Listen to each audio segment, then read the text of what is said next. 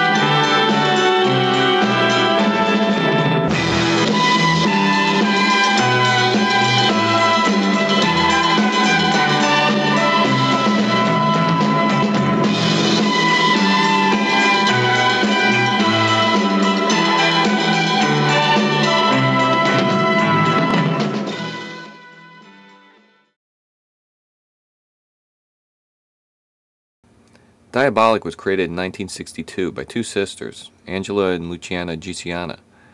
He appeared in Italian fumettis, adult comics. He's not the prototypical superhero, because he's a thief. When the character started, he was essentially a villain, robbing from pretty much anyone. Later that edge was softened when he began to only steal from wealthy criminals. This Robin Hood type slant made him a bit more heroic. Still an outsider and an anti-hero, but someone you could more easily root for. In 1968, the character was adapted to the screen by producer Dino De Laurentiis. The film would be directed by Mario Bava. To bring Diabolik to the screen, Bava would be given the biggest budget he had ever worked with before, $3 million. However, after being so accustomed to working with such lower budgets in his career, Bava found the excessive money stifled his creativity and ended up bringing the film in for $400,000.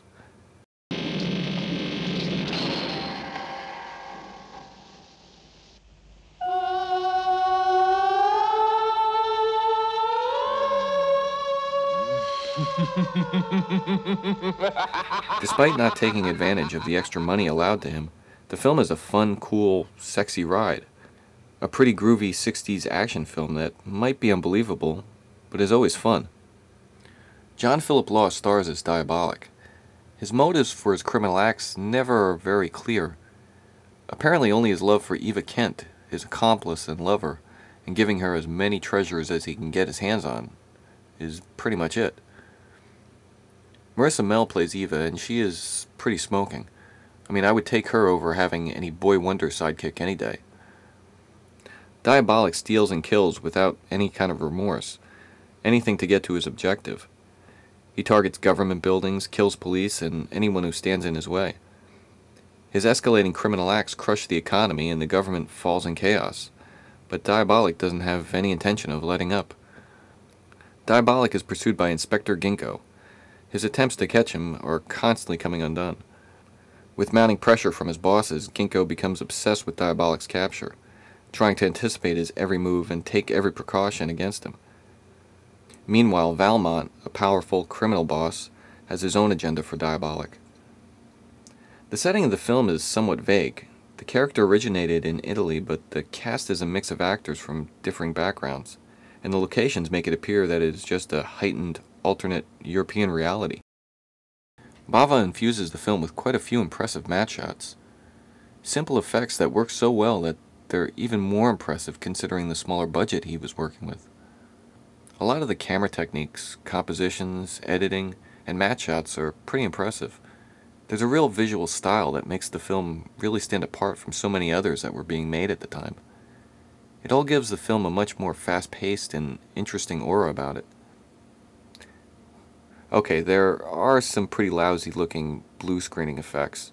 I mean, some are pretty laughable. But I think they're just minor quibbles, and they don't hurt the overall film. I mean, I would rather take a film with a fun, engaging story and crappy effects over a film that only has great effects going for it any day.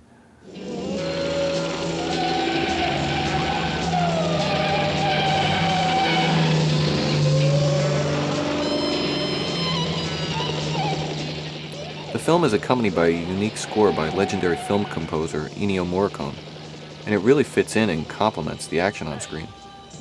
Some feel it's one of his best scores ever.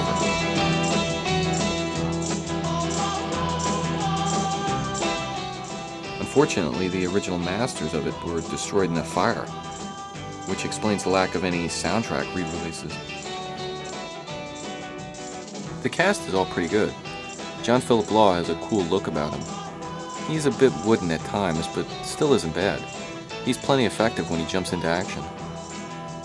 Marisa Mell, like I said, is really hot and looks great in her 60s outfits. She adds a very sexy quality to the film. The camera lingers on her, not shying away from her attributes.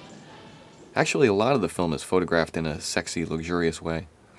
I suppose you could try to pick out some phallic imagery and all that, but uh, I'll leave that up to you guys. Unlike Batman, where it epitomized the goofiness of the 1960s, Diabolik is completely on the opposite side of the spectrum. It's comic booky and a bit extravagant, but never laughs at itself. Unlike the Batman show, Diabolik presents itself in a more serious vein. The characters aren't literal walking jokes to be laughed at as they were portrayed in Batman. Diabolik is more to be laughed with. The characters and situations are overblown, but not presented in a comical way. This is a presentation of the 60s that's cool, erotic, and bordering on the absurd, but accepting it's all just exaggerated fun. Having been so impressed with Bava's work on Diabolik, and realizing he had only spent 400000 out of the $3 million budget, De Laurentiis asked him to make a follow-up film to it. However, he was completely unhappy with the collaboration and just refused. You can still find the ripples of this film. The Austin Power films clearly had it in mind.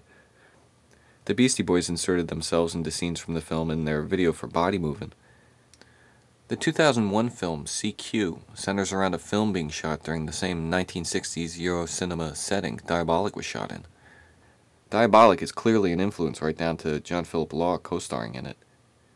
Tim Burton and Quentin Tarantino have cited Mario Bava as a major influence.